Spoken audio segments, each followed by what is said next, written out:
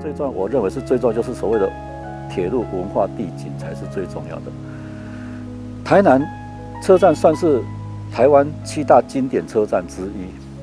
台南还是在原址上面都没有动过的车站，都没有被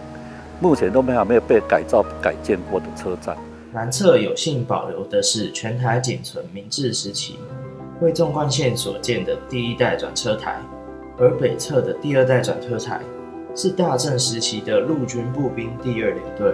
为方便军事运输所建造。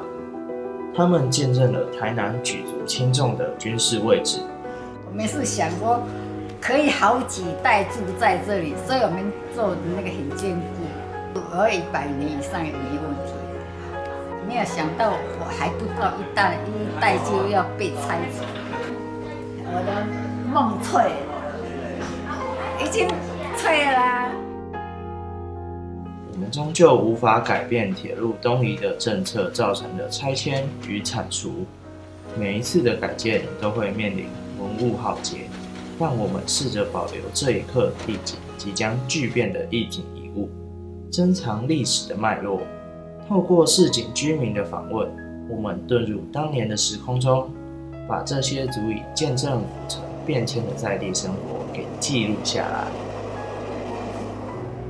现代化的建设带来创新思维与城市新样貌，却也让我们期待更多薪火相传、新旧共存的可能性。